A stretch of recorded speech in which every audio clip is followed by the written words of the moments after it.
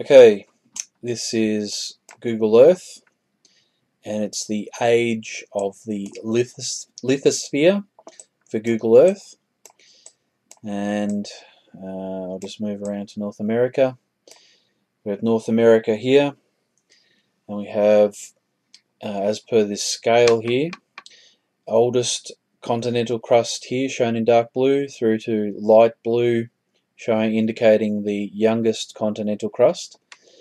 Likewise on this rainbow coloured area we have oceanic crust with red indicating the youngest oceanic crust through to the oldest which is uh, violet indicating the oldest oceanic crust up against the boundaries of the continental crust and that correlates to this scale here with red youngest, purple oldest, violet the oldest.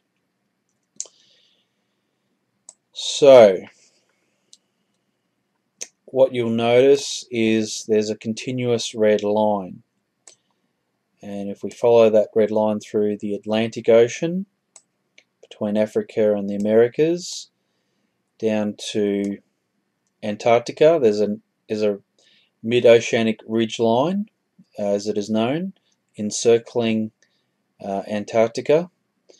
So the the Atlantic um, oceanic mid-oceanic ridge line comes down to here and then we can follow uh, it up through to uh, India here there's India there there's Madagascar, this is Africa. And if we go back to Antarctica, uh, so we have that expansion joint, that expansion joint, and uh, the expansion joint that comes around Antarctica uh, splits off here, and that forms the Pacific. I'll just bring north around. So this is the Pacific Ocean and this is the uh, mid-oceanic ridge line in the Pacific.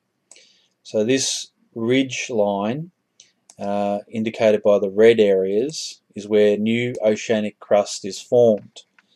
So new oceanic crust is formed at these red lines and it adds to the surface area of the earth. As it increases the surface area of the earth, it increases the radius of the earth. These red lines are an expansion joint for the Earth. It is like a seam running around a baseball. Uh, obviously the baseball seam wouldn't look as haphazard as that, but that is what it is. So, I'll just bring north around again. You can see that this boundary here of Africa See, that's Africa. That boundary there meets up with this boundary here.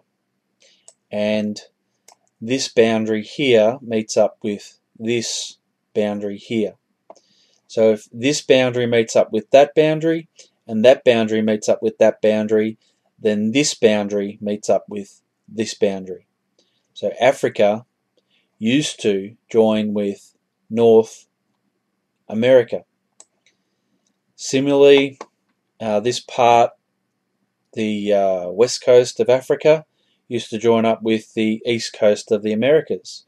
Just as this boundary has a halfway boundary here, meets up here, so does this boundary meet up with that boundary. So if that boundary meets up with that boundary, and that boundary meets up with that boundary, then this boundary meets up with that boundary.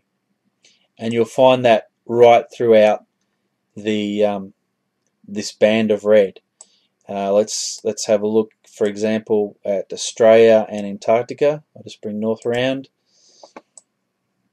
All right, there we have Australia there. Now just um, just take note. I'll just bring Australia into view. Take note that uh, we don't really see a distinguishing distinguishing shoreline between uh, Papua New Guinea and Australia.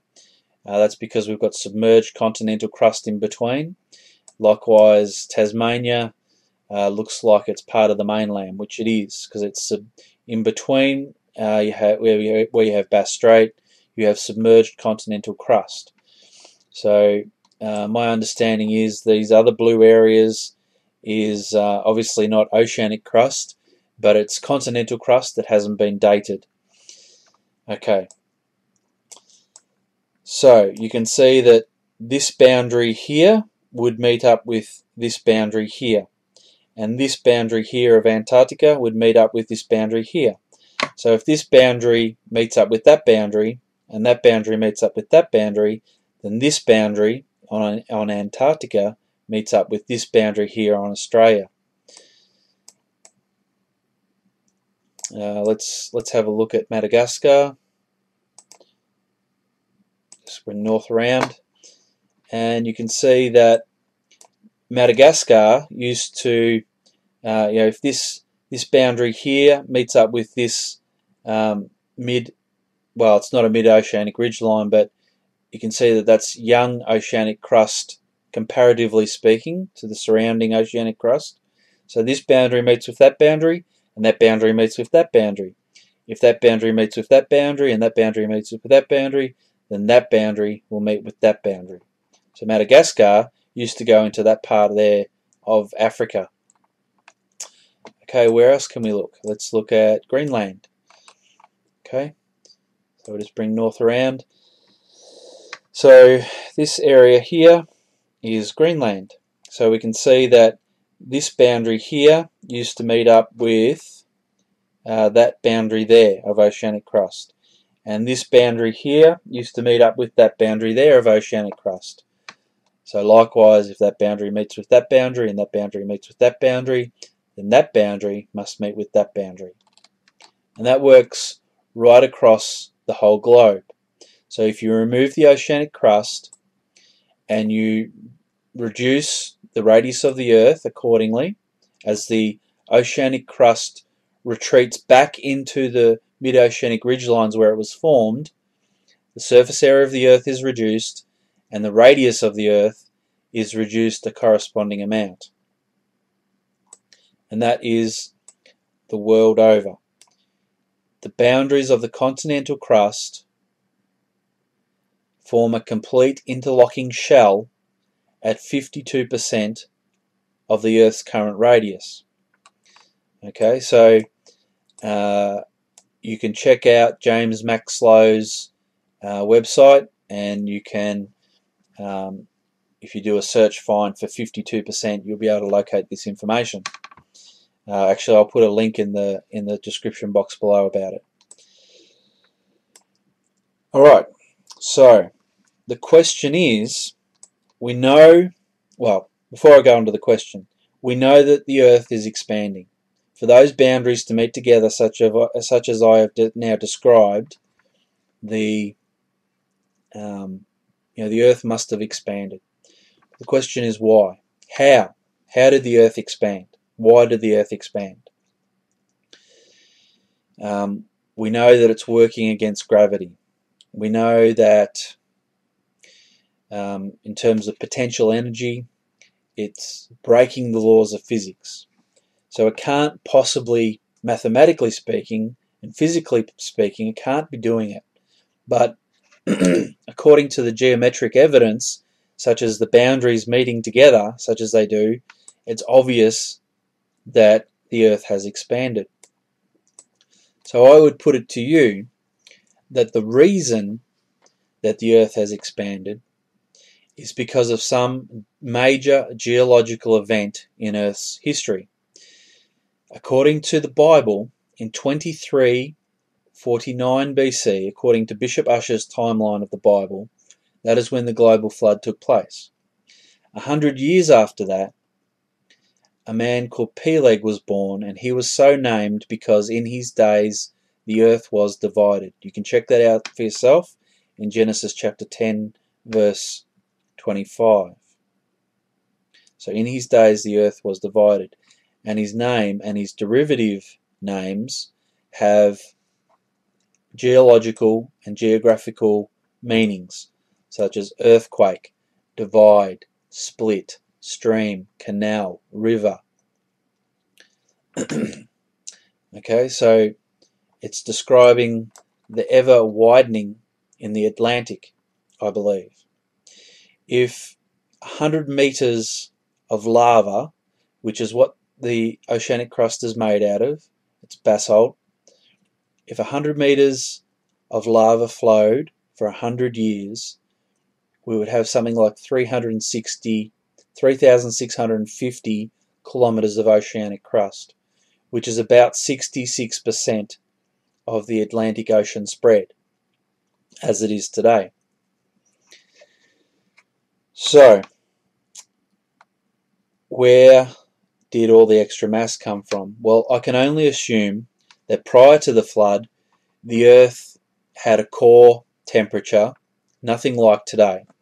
It was somewhere between 1 degrees and 99 degrees Celsius, so the temperature of water. Um, and in, in Genesis chapter 6, verse 17, God says, I, behold, I do bring a flood upon the earth. So it's evident that the flood was a supernatural event. It had supernatural triggers. It was initiated supernaturally by God. So if the Earth's core temperature wasn't as it is today, if it was cooler, and God increased the mass of the Earth, God increased the energy of the Earth, and therefore the expansion of the earth is a decompression of the earth.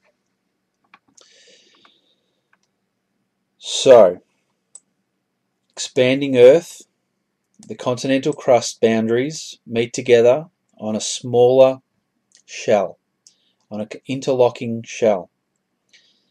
James Maxlow has done 23 reconstructions uh, of expanding Earth. Um, I have done a two-stage reconstruction, um, 100% and a 75% uh, pro rata, and I was able to convince myself that the Earth has expanded based on the geometric evidence. So once again, uh, it, is a, it is a physical impossibility that the Earth is expanding, yet the boundaries meet together and prove that it has. And I propose to you that expanding Earth was instigated by the global flood. Thanks for listening.